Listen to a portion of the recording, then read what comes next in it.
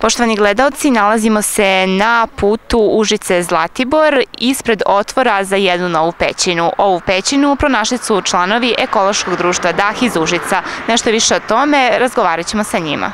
Dok, kako ste došli do saznanja da je ovo ovde u stvari pećina, s obzirom da svi mi veoma često vuda prolazimo, a nismo znali šta se tu krije?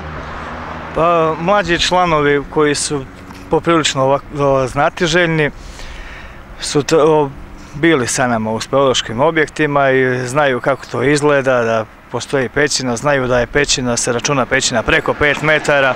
Aco je ušao, vidio da ima više, nazvao me, pošto sam predstavnik društva i vodim i tu speleološku sekciju, nazvao me da dođem da pogledam je li to stvarno pećina, stvarno jeste.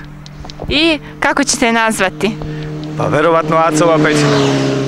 Ovaj, pošto nema ime, ovo nije samo jedna pećina, nego je sistem koji bi trebalo tek da dođe do istraživanja, znači do premeravanja pogleda s obzirom na konfiguraciju terena i na ono što smo videli na topografskoj karti daje velike mogućnosti da bude jedan od dužih speleoloških objekata. Zanima me, ovdje ima jedno jezerce unutra, ali tako? I koliko je ova pećina, koliko ste do sada otkrili bogata pećinskim nakitom? Pećina je predivna, prepuna pećinskim nakitom. Znači ovo jezerce koje to je donja erozivna baza s obzirom na ovaj potok koji je veoma bliz, znači ne može biti mnogo duboka, s što konfiguracija terena o, daje mogućnost da bude visok sistem pećinskih kanala, ono koliko smo mi do sad pregledali, je negdje oko 60 metara.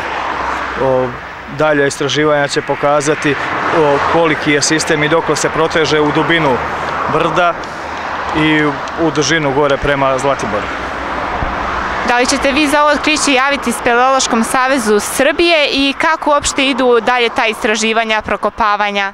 Pa ja se nadam ukoliko budemo povezali ceo sistem da će to biti preko 1000 metara, znači to zaključujem po ovaj, topografskoj karti i konfiguraciji terena. Svi speleološki objekti koji su preko 1000 metara se obeležavaju u Atlas speleoloških objekata Srbije koji će biti nadopunjen negde oko 2010. Znači ovaj koji je zašao 2000. tu smo imali već jedan objekat iz Rakovice i ovo će nadam se biti drugi iz našeg kraja. Novonađena pećina nalazi se na delu puta koji se zove Sušica. Milan Janković Dok, užički speleolog, nam je rekao da je u ovoj pećini pronašao i pećinsku ružu. Kako nam je objasnio, to je skamenjeni crv oko kojeg se stvaraju zanimljivi ornamenti koji podsjećaju na ogromnu ružu. Zanimljivo je da se pećinski nakit zvan ruža u pećini nađe jednom u hiljadu godina. Sa nama je Aleksandar Stojanović, inače on je i otkrio ovu pećinu ispred koje se nalazimo. Aco, reci mi, kako si došao do saznanja da ovde postoji pećina? Pa eto, ja sam došao sasvim slučajno. Jednom išao sam iz livade, pomagao sam dedi da plasti, onda sam krenuo i slučajno sam pogledao. Tu otvor je bio i onda sam virnuo i bila je prelepa pećina. Krenuo si u školu, jesi li pričao svojim drugarima o tome? Jesam, pričao sam, naravno. Šta oni kažu? Pa neki veruju, neki ne veruju. I tako. Mi ti verujemo, a kad ova pećina dobije ime po tebi, onda će ti svi verovati. Jeste, tako je. Nadajmo se da će Acova pećina biti još više otkrivena i da će upotpuniti već bogatu turističku ponudu Užičkog kraja.